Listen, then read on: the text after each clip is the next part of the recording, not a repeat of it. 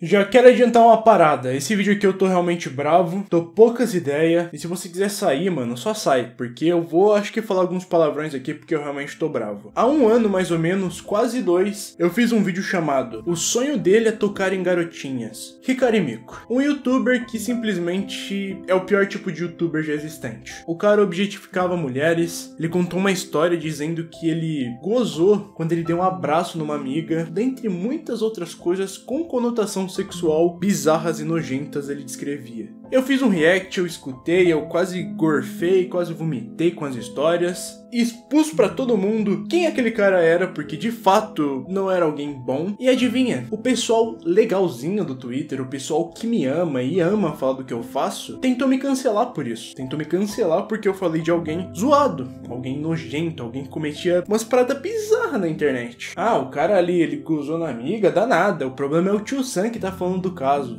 O ano passou, pá, o tempo passou e o Ricarimico voltou. Senta aí, que eu vou pegar aqui o meu celular. E mano, o que ele fez é nojento, tá? Seguinte. Trend no Twitter. TW. Assédio. Gente, Acabei de receber uma notícia péssima das meninas do grupo de fofoquinha de cosplay. Tem um youtuber com 4k de seguidores que foi um evento de cosplay e assediou meninas de 11 anos. Ele é maior de idade, peço para denunciarem. Ai, ai, ai. Pois é, gente. Lembra do youtuberzinho que me cancelaram porque eu falei sobre ele? Falei que ele era um perigo, que era para as pessoas denunciarem, mas que não. O problema tá em eu divulgar, não é tá em expor o caso, expor a pessoa para tentarem fazer alguma coisa com ele. Olha só, o cara tá sediando garotinhas de 11 anos. Algumas pessoas vieram até o meu privado e falaram que ele fez formulários para namorarem com ele e tinha perguntas bizarras do tipo: "Ah, qual é o tamanho do seu peito? Qual é o tamanho da sua bunda?". Mano, umas paradas bizarras. Só que fica pior. É muito fácil falar não, trend no Twitter, só isso. Mas seguinte, deram prints em alguns stories que o Ricari fez no Instagram dele e basicamente era isso aqui, ó. Uma fotinha ali não tem muitas peitudas, mas tem muitas rabudas no evento. Obviamente ali pessoas que não sabem o que tá acontecendo, mas que claramente estão sendo assediadas por um moleque retardado. Ah não, retardado não pode falar. Por um moleque idiota. Um moleque. Nossa, velho. Que ódio. Que ódio. Vai ser difícil pegar uma menina isolada. Porra de comentário é esse? Por que o moleque quer uma menina isolada? Por quê? Quais as intenções? Por quê, tá ligado? Tá aí aqui tem alguns prints do canal do Ricari e também do Instagram do Ricari Mico. Mas não acaba por aqui. O mesmo perfil que fez essas postagens fez outras postagens do Ricari. E basicamente é isso aqui. Outra rutão gostosa. Provavelmente o moleque falou assim: Ah, deixa eu tirar uma foto sua, gostei do cosplay, não sei o que, não sei o que lá. A menina falou de boa. Daí ela foi pro Stories e acabou sendo assediada pelo. Meu Deus, eu não sei falar. Ela acabou sendo assediada pelo Ricari. Eu tô bravo, mano. Por isso que eu tô errando muito. Quando eu fico bravo, é, é isso, tá ligado? A única vontade que eu tenho é.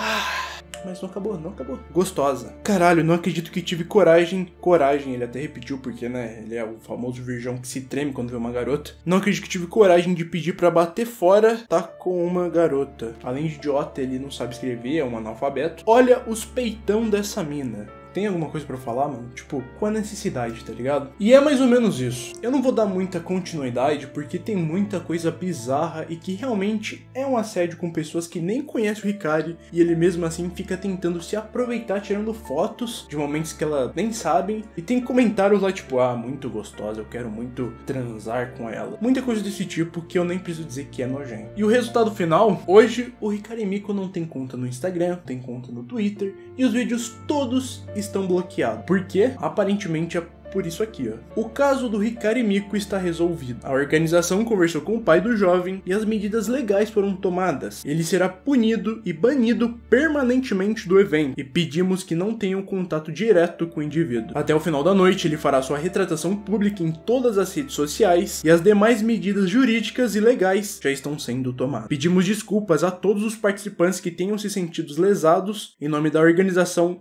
Jinru, que é o evento que aconteceu lá em Cascavel, e Caso alguém precise de apoio, a organização estará a postos para ajudar e auxiliar. Uma boa tarde a todos. Considerações finais. Não é brincadeira o que a gente tá falando aqui. O cara realmente assediou e cometeu crime. O cara que eu falei há quase dois anos atrás, que as pessoas me cancelaram por ter falado dele e alertar o pessoal do tipo, mano, esse cara aqui é nocivo, esse cara aqui é perigoso, de fato fez alguma coisa. Ele realmente cometeu crimes, tá ligado? Olha o nível que isso chegou. Não é tipo brincadeira, não é engraçado. As pessoas na época, quando eu falei sobre sobre ele problematizaram eu de falar dele. E olha o que ele fez. Será que o problema sou eu? Eu acho que não, né? Tem muitos outros relatos de muitas outras coisas bizarras que ele fez. Coisas nojentas mesmo, coisa que só gente maluca pensa, que só gente doido pensa. E serve de alerta uma coisa. No passado, o Ricardo Mico, ele fazia algumas coisas e depois apagou todas as redes sociais para voltar dizendo que é um personagem. E eu acho que isso tem chance também de acontecer. Dele ficar fora por um tempo, deixar a poeira baixar e depois voltar falando com alguma desculpa que era alguma outra coisa, blá blá blá blá blá. Mas não caiam nesse